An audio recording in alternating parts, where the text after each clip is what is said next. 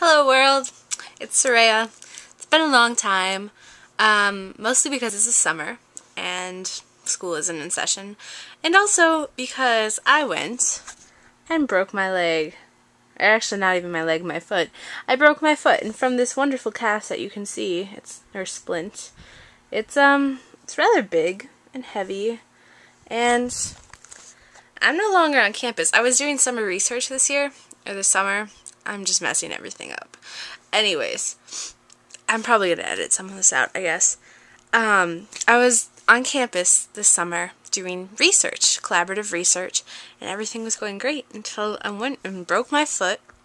And now I'm back at home with the parents, and I mean, it's pretty nice. Here's my room.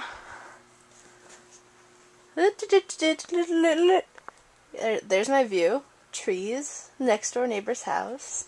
Here's my dog. Yeah. So, I mean, it's nice to be home and see my family.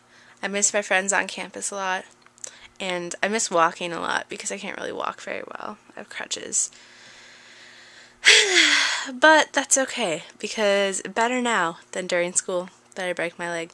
So, I mean, I guess that's all I have to say. That's what's been going on in my life lately. I broke my foot. It's taken up a lot of time.